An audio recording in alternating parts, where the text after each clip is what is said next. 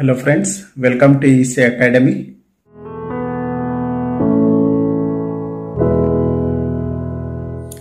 In this lecture, let us understand combinational logic. If we consider any logic circuit, the logic circuit may be classified into two types.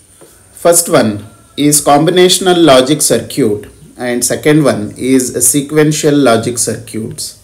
The combinational logic circuits consist of only logic gates but it does not contain any storage element.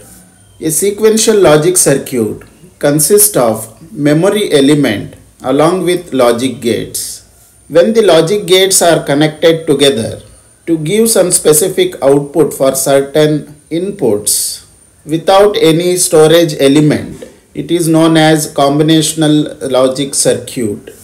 In combinational logic circuit, the output will depends on the combination of input levels.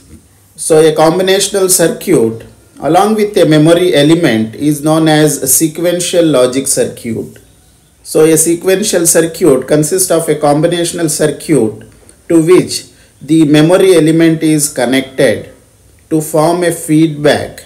These memory elements are capable of storing binary information.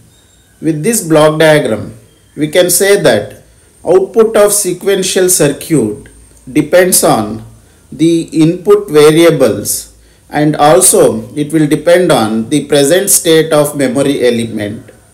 There are many application of logic circuits. We can use these in calculators and computers, digital measuring techniques, digital processing of communications, musical instruments, gaming and domestic applications and so on.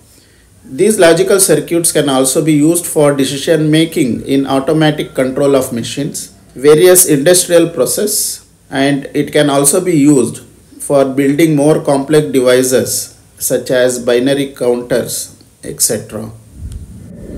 This is about the classification of logic circuits. Hope you have understood the topic. Thank you.